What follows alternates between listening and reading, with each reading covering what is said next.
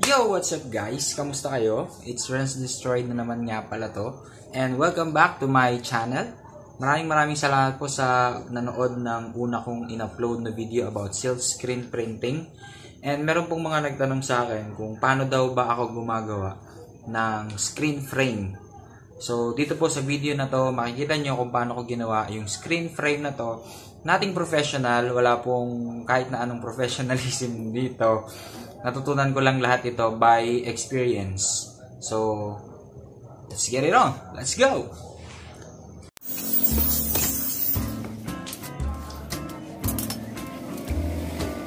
Merong shop yung tatay ko So, pumunta lang ako dun sa shop nila. Meron siya kompletong gamit sa paggawa ng screen.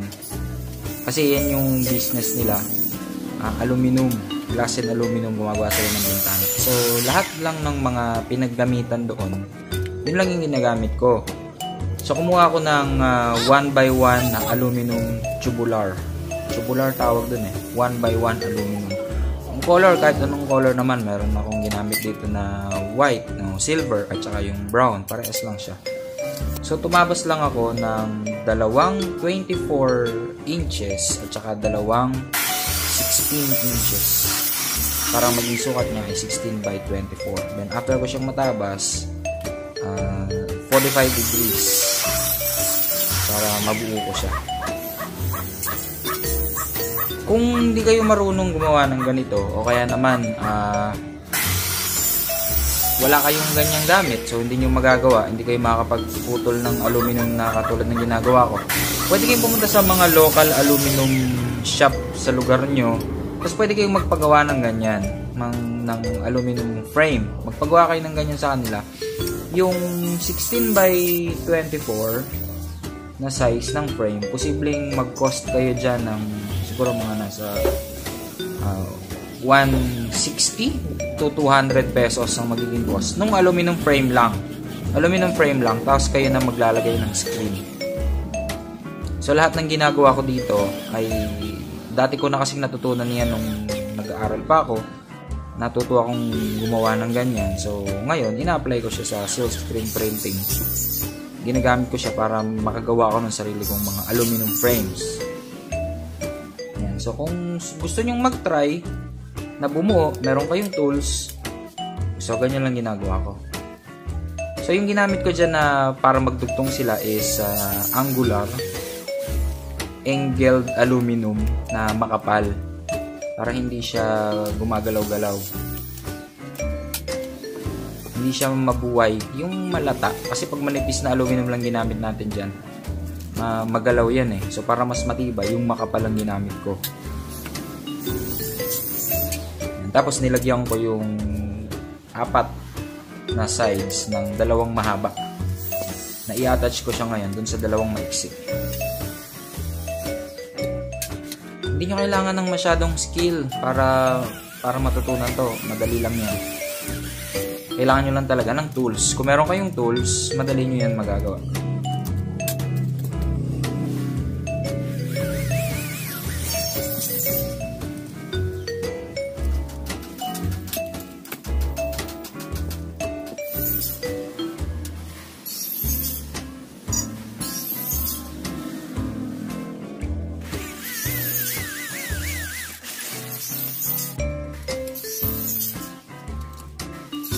Sa mga mga basic na na tools na ginamit ko diyan, syempre yung pamputol, yung uh, cut off yata ang tawag doon eh. Cut off parang electric saw, ganun. Electric table saw. Tapos ng syempre drill, bilang natin ng drill. Basta yung gamit ko na yan, yung material na yan ay 1 by 1 aluminum tubular. 1 by 1 aluminum tube lang. Tama.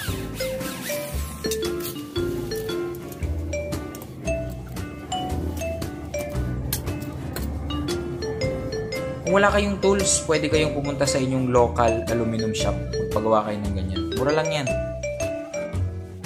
So, ganito ko naman ginagawa kung paano ko ilagay yung screen. So, ginawa ko siya sa dito sa workshop table ko Nilagyan ko lang ng dalawang plate para pang sa pen. Pero kung meron kayong dyaryo, dyaryo gamitin nyo. Kasi lagyan ko siya ng rugby. Rugby lang yung nilalagay ko. Tapos ipapahid ko siya dito sa buong surface ng ng aluminum. Huwag masyadong madaming rugby. Hindi naman kailangan masyadong makapal. Basta kailangan magkaroon lang siya ng thick, ano, thin, kahit thin layer lang. Huwag naman sobrang thin Basta kailangan magkaroon siya ng layer ng rugby na ikakalat mo dun sa may aluminum para kumapit yung screen.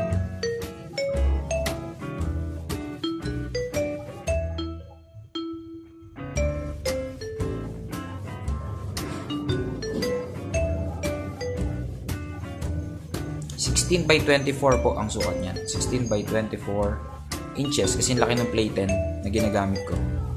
So gamit lang ako ng uh, popsicle stick para ikalat yung rugby. Kailangan pantay siya. Ikalat mo lang siya dyan.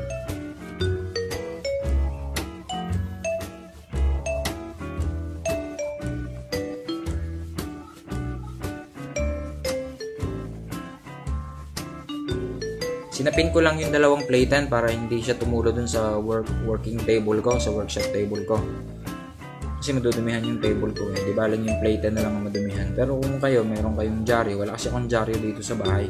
So kung meron kayong dyaryo, dyaryo gamitin nyo pang pansapin.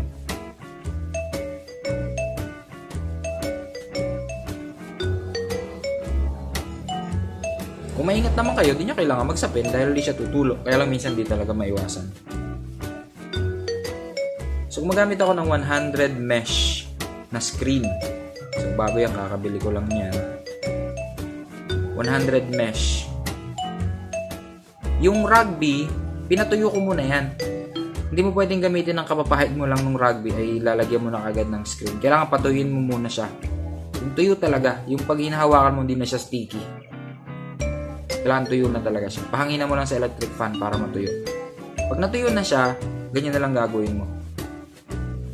Ang gamit ko dyan ay something na plastic. So, ano yan? Uh, pinaggamitang bote ng deodorant. Plastic. Kinakaskas ko lang siya dyan. Bumabaon na yung screen dun sa may rugby. Na dun sa layer ng rugby na ipinahid natin kanina. So ikakabit ko lang muna yung dalawang side pa L. Isang long at saka isang short side. Tapos kailangan medyo batakit mo na rin siya. Kakaskas mo lang siya para para lang dumikit mabuti yung uh, screen dun sa rugby. Kahit kahit tuyo na yung rugby, kapag kinaskas mo siyang ganyan, didikit pa rin siya. Kasi kapag ka basa pa yung rugby, tapos nilagay mo na kagad yung screen, pag binatak natin yan mamaya sa stretcher na ginawa ko, matatanggal. So ito yung stretcher na ginawa ko, screen stretcher.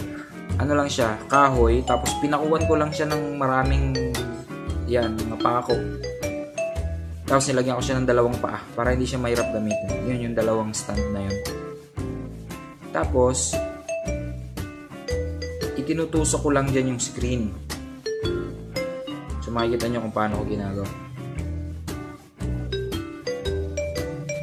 Ah, yung style na to, ang tawag tawag yata dito ay tumba-tumba na screen stretcher. Tumba-tumba yung tawag nila dito. So ito yung very traditional. Kung ano lang yung meron sa inyo, yun lang, magagamit natin yan. Actually, hindi pala pako yung ginamit ko na yan. Yan yung pinang re-refit kanina, yung para ma-attach natin sa sa bawat sulok yung yung ating screen frame, yung naiiwan na mahaba lang. Yan lang. Kasi pag pako nga pala ginamit mo dyan, may ulo yun eh. So, hindi siya matalim. So, yan, pareho siyang tools. Kaya, yan yung ginamit ko. So, medyo tulungan natin batakin yung screen. Tsaka niya si ibabatak pababa. Ganyan. Huwag mo lang masyadong batakin pababa kasi madi-disalign yung ating frame. So basta nakita mo, stretch na siya, pwede na yan. Tapos, habang naka-stretch, habulan na na agad natin ng kaskas. Basta plastic lang yung pangkaskas nyo. Huwag nyo kaskasin ng bakal kasi masisira yung screen. Kailangan plastic lang siya. Something na plastic.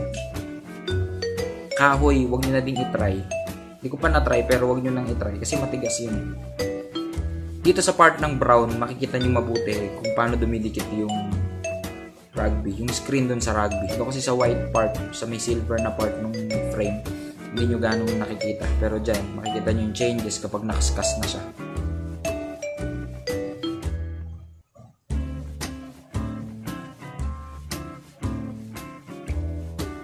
Yan, ibabatak lang natin yan pababa. Yan. Kita mo, no? pag nakaskas na siya, nagda-dark na siya. So, pag nag-dark na siya, ganyan, ibig sabihin, dumikit na yung screen doon sa ating frame na may rugby. Ganyan lang ka-easy. Hindi natin kailangan mag-tacker. Hindi nyo kailangan ng tacker. Minsan yung tacker ang hirap tanggalin sa kahoy. Eh. eh, ito pa aluminum frame, hindi naman pwedeng lagyan ng tacker kasi hindi siya babaon. Rugby talaga pwede natin gamitin. Tapos trim na natin yung screen. Saktong-sakto lang. Kailangan gupitin natin siya ng sakto. Huwag nyo nang pasobrahan.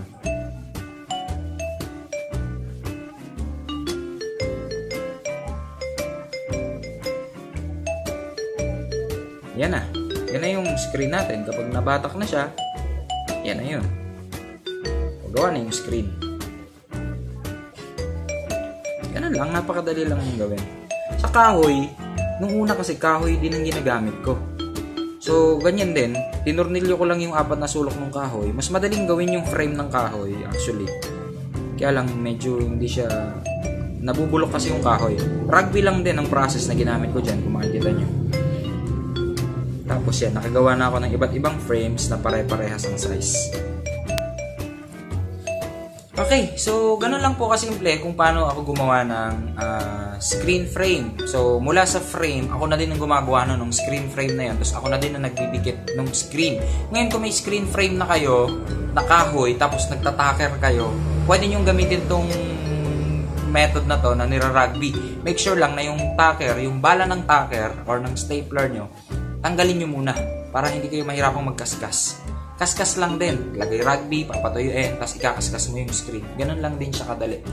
Mas madali siya actually dumikit sa kahoy kaysa dun sa aluminum. Mas madali siyang dumikit sa kahoy. Mas madaling gawin sa kahoy. Kaya lang, mas uh, magaan kasi yung aluminum frame, tsaka mas matibay siya. Tatagal talaga siya. Kaya yun na yung ginagamit ko. Medyo marami na rin akong screen na gawa sa aluminum. So yun lang po. Muli po maraming maraming salamat po sa panonood sa mga videos ko. At kung nagustuhan niyo po yung video na to, please hit the like button.